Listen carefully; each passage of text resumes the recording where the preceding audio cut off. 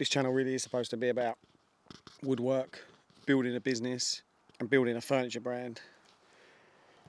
I don't feel that good. It's kind of descended into just being a guy sitting alone in a chair, drinking glasses of beer.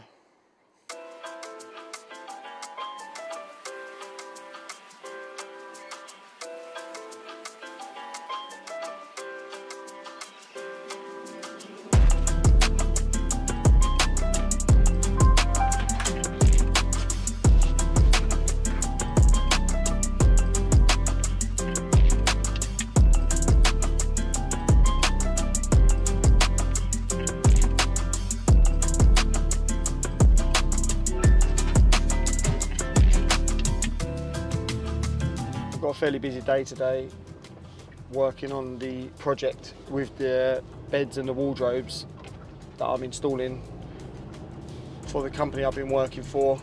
There's still a lot more work to do there, but some of the areas of where I've been working are almost done, but there's a few bits and pieces still to finish on them. So I think today I'm going to go around in all the areas where I've been working and try and finish them up so I can move on from them completely and then get started on the, the new areas in the house that need working on. It's been a pretty busy week, um, fairly productive. I've been out doing paid site work all week. Oh my goodness. Ugh. And then trying to fit in some time on working on the furniture brand in the evenings.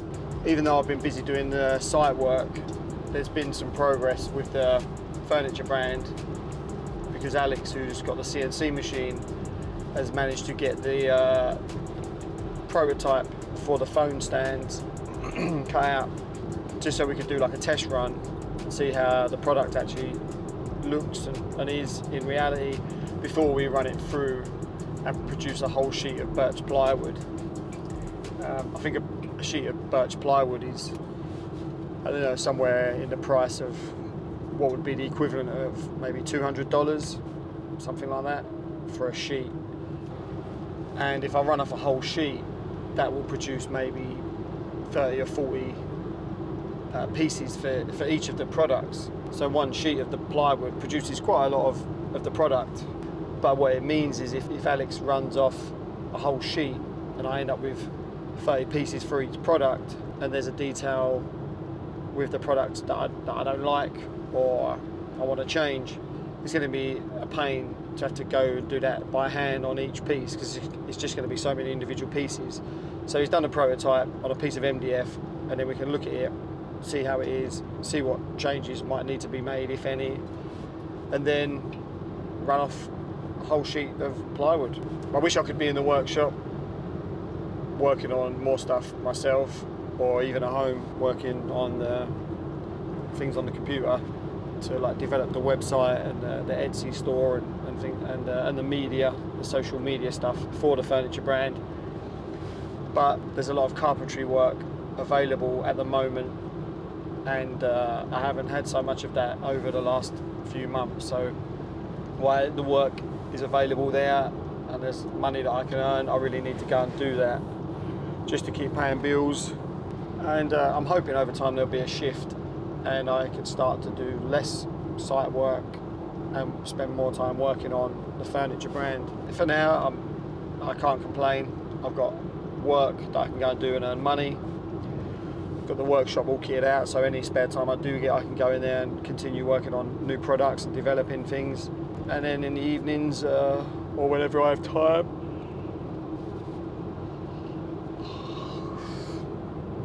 if I'm not too tired, I just keep pushing on with the, the YouTube channel and, and the social media stuff for the furniture brand. So it's uh, it's good times right now, I guess. I, I have very little that I should complain about. I'm happy that there is opportunity uh, in front of me. So I'm going to do my best to take it and, uh, and make the most of it. I am going to do my usual stop pick up a coffee and a pastry on the way to give me a little bit of a boost and a bit of motivation. And then I'll be on to the, the site and then I'll be working there all day, trying to straighten things out a little bit and get things organised before the weekend.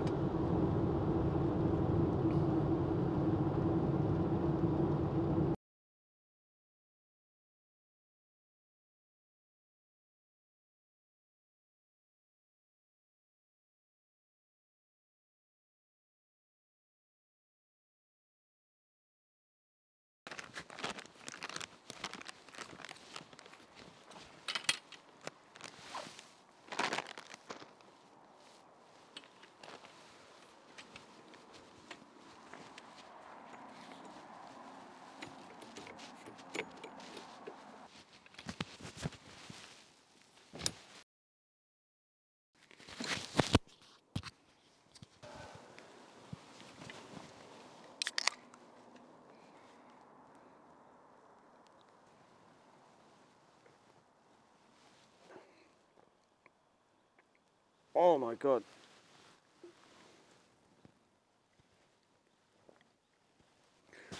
Oh no, you don't want that. You don't want that.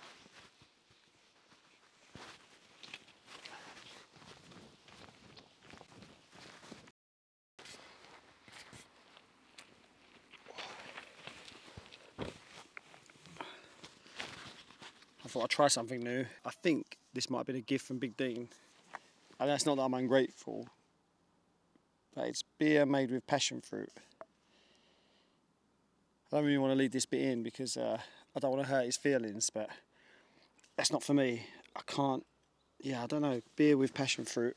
I don't actually know what passion fruit is. I don't know if I've ever eaten a passion fruit. I don't know what it is, but it doesn't really go that well with beer for me. Maybe I'm a bit more low end.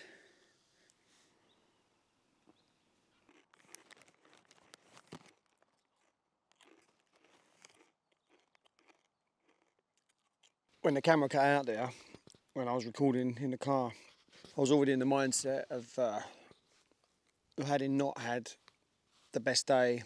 Actually, that's not that accurate. It's not that I haven't had the best day. It's more the case that I hadn't the day didn't pan out the way I was expecting it to or the way I'd hoped it would. There's a very little chance of me having days where I feel happy with the progress that I've made or how productive I've been. If I have a great day and things go really well, I just take that as normal and I get to the end of the day and I think, yeah, okay, that was an alright day. And then if I have a day where it's just a normal level of productivity or progress, I really start to give myself a hard time and I just don't feel good about the day. So it just means, I guess, I know 75% of the time, the chances are that I'm going to be disappointed with the way the day went. I really got to work on that because uh, it's just not realistic, I guess, to expect to have a great day with progress and productivity every day. And that's kind of what, Uh, that's the standards I kind of set on myself. And it was a bit like that today. Like, the day went fine, got up this morning, went to work, got some things done, made some progress, pushed forward, further ahead today now than I was yesterday. There's, no, there's nothing wrong with today, but it just wasn't a day where you look back and you're overly impressed with with what's been achieved.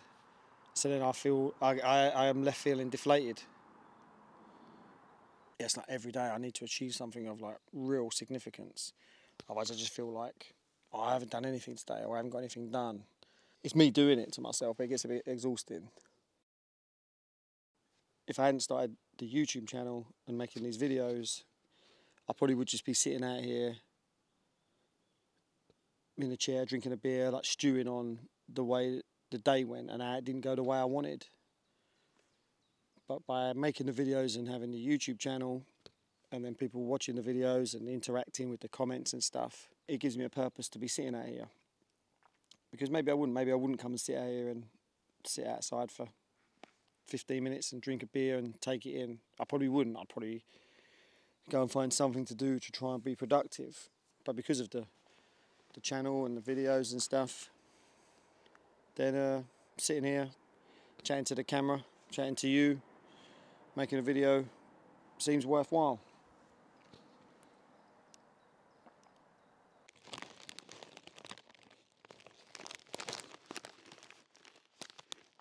But anyway, it's Friday today and I don't have to go to a site tomorrow to do any work. I'm going to be off now for the weekend, so I'm hoping to get back in the workshop and uh, work on some more of the products and designs that I want to work on for the furniture brand and also put a little bit of time into the Etsy store on the website because I really need, or I would really like to start selling uh, a few products. Not even many, just a few. Uh, you know, I actually haven't sold any products through the website or through the Etsy store yet.